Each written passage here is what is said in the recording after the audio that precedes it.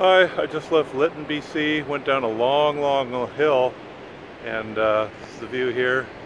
There's my bike, Forrest Gump, there's my boat, and uh, I must have been coasting for what seemed like about 10 kilometers or something, I don't know. Long hill. Not super fast going downhill, some hills are steeper, but yeah.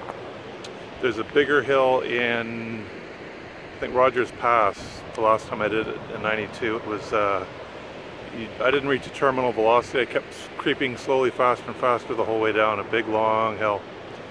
Be going down that again. Anyway, biking across Canada for mental health. Um, I'm realizing uh, everyone knows about schizophrenia. Most people have heard the word, so that's good. Not everyone knows more about it, and I'm trying to change that. Go to mindaid.ca to learn more on how to donate. See you later.